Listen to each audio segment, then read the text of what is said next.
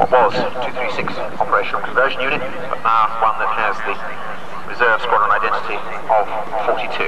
Their role, maritime reconnaissance and anti-submarine war.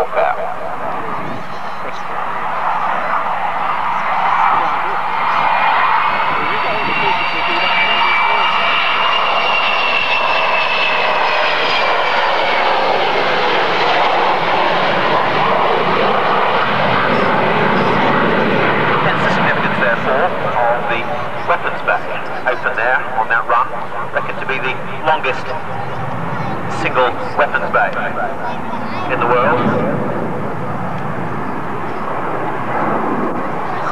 A weapons bay that otherwise compromises the shape of the aircraft seen well here in plan view that's derived very directly from the former de Havilland Comet 4C airliner and indeed RAF transport. An unpressurized weapons bay beneath the very elegant cylindrical fuselage otherwise. Projecting forward with the Thorn EMI Searchwater radar to the rear, the so-called MAD sting, the magnetic anomaly detector, a means by which the interference caused by a submarine in the pattern of the Earth's magnetic field can be detected and of course the submarine itself thus hunted.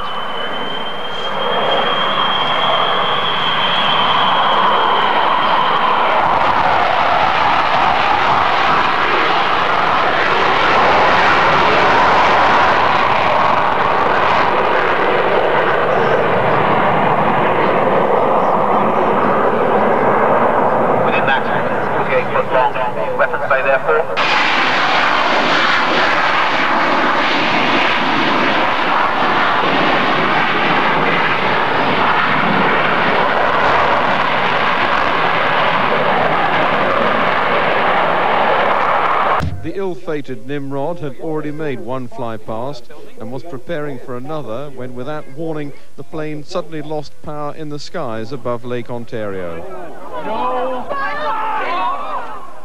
On hitting the water, the plane sank almost immediately. The seven-man crew had no chance of escape. The RAF have operated Nimrods for 26 years.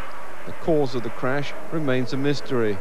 Eyewitnesses on the ground say they listened and watched in horror as the plane's engine stopped and it nosedived.